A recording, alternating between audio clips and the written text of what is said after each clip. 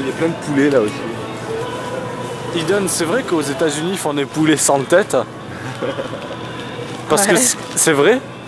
Parce que Skids il m'a dit. En fait, c'est bizarre pour nous de manger du poulet avec.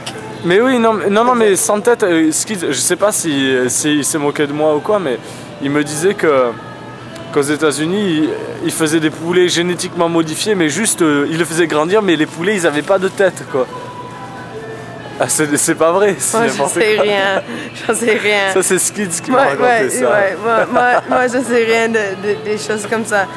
moi, je pense, en fait, ok, quand je mange du poulet, soit je le mange frit, ou soit je le mange pas. Ok.